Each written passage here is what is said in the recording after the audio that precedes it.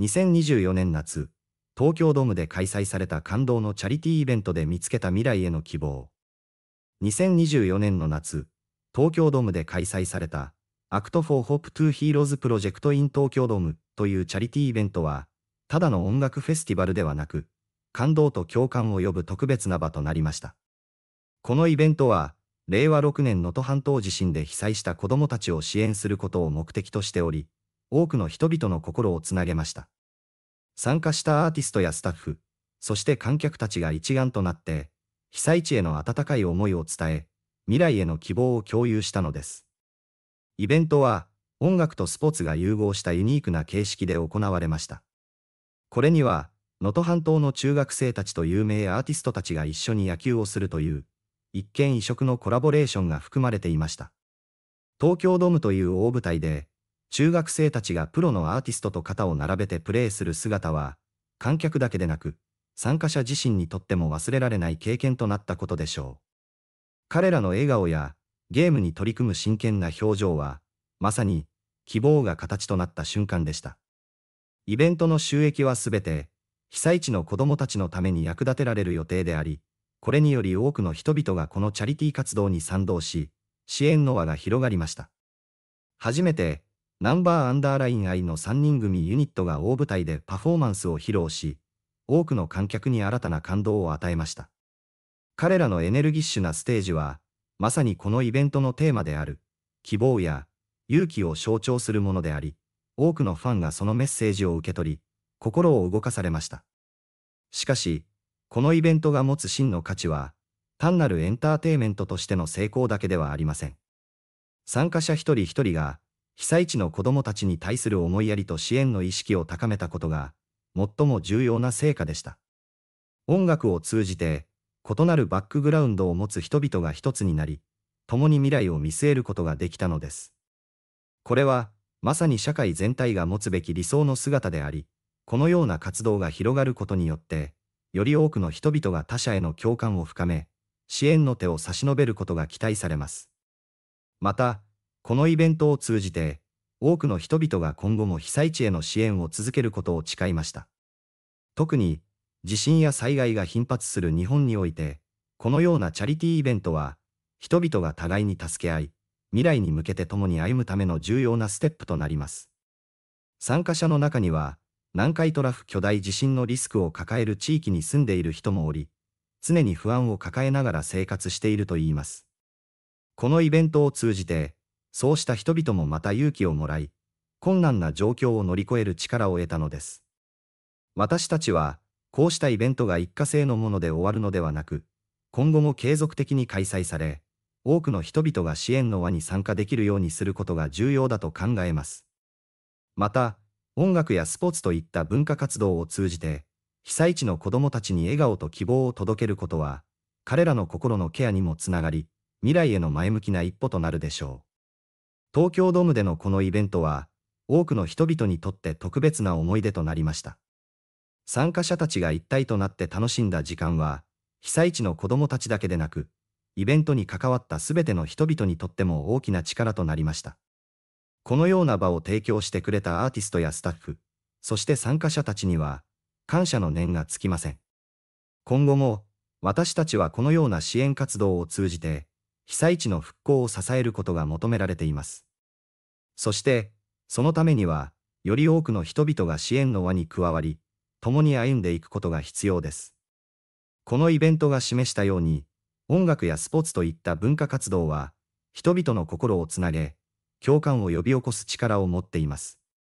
この力を最大限に活用し、今後も被災地への支援を続けていくことが、私たちの使命であり、未来への希望を築くための鍵となるのです。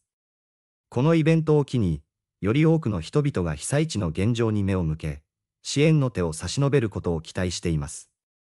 そして、私たち一人一人ができることから始め、共に歩んでいくことで、未来への道を切り開いていきましょう。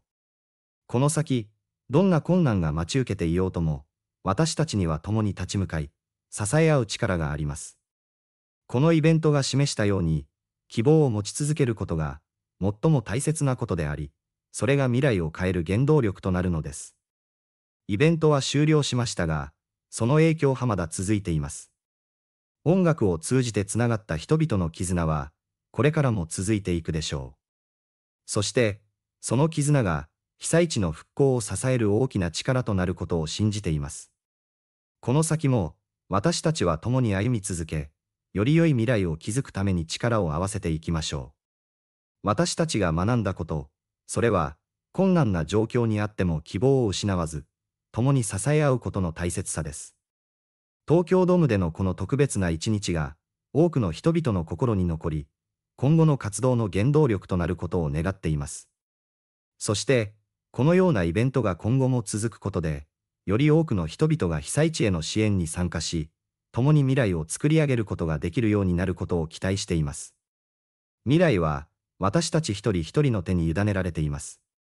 このイベントをきっかけに、私たちが共に歩んでいくための道筋が見えてきたように思います。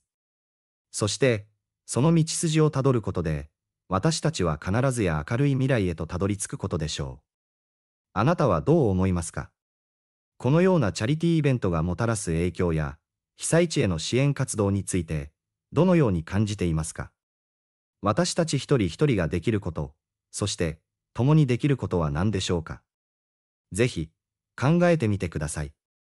そして、あなたの声を聞かせてください。共に未来を築いていくために、あなたの力が必要です。共に未来を築くためには、私たちが何をするべきかを考えることが重要です。東京ドームでのイベントは、支援活動の一つの形を示しましたが、それは始まりに過ぎません。私たちは、このようなイベントを通じて得た経験や感動を、日常の中でどのように活かしていけるのかを考え続ける必要があります。例えば、被災地に寄付をすることや、災害に対する備えを見直すこと、さらには地域社会でのボランティア活動に参加することなど、できることはたくさんあります。さらに、このイベントを通じて示されたように、音楽やスポーツといった文化活動は、人々をつなげる強力なツールとなり得ます。これらの活動を通じて、私たちは他者との共感を深め、社会全体として支援の輪を広げることができるのです。だからこそ、これからもこうした文化活動を大切にし、その力を活用していくことが求められています。音楽が持つ力は、単にエンターテイメントとして楽しむだけでなく、困難な状況にある人々に希望を届け、心の支えとなるものです。また、今回のイベントで特に印象的だったのは、中学生たちがプロのアーティストと共にプレーする姿でした。この経験は、彼らにとって大きな自信となり、今後の人生においても強い影響を与えることでしょう。彼らが感じた喜びや達成感は、単なる一時的なものではなく、未来への希望を抱くきっかけとなったはずです。こうした若い世代への支援は、単に物質的なものだけではなく、彼らの心を育み、未来を切り開く力を与えるものです。私たちがこのイベントから学んだこと、それは支援とは単なるお金や物資の提供だけではなく、人と人とのつながりを深め、共に歩んでいくことの大切さです。私たち一人一人が、そのつながりの中で何をできるのかを考え、行動に移していくことが、未来をより良くするための第一歩です。このイベントが示したように、共感や思いやりを持つことで、私たちは困難な状況に立ち向かうことができるのです。そして、これからも私たちは、被災地への支援活動を続けるだけでなく、普段の生活の中でも他者への配慮を忘れず、共に歩むことを心がけていくべきです。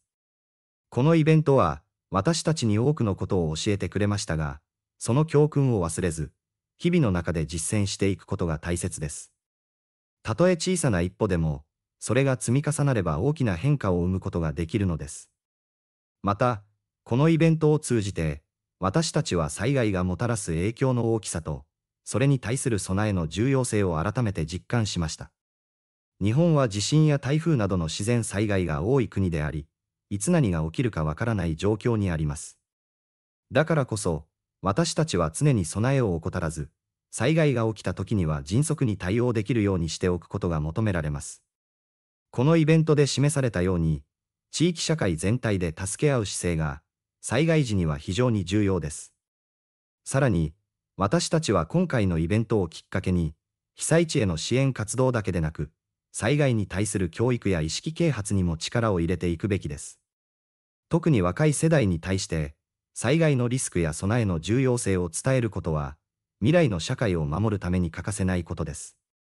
彼らが将来、同じような困難に直面した時に、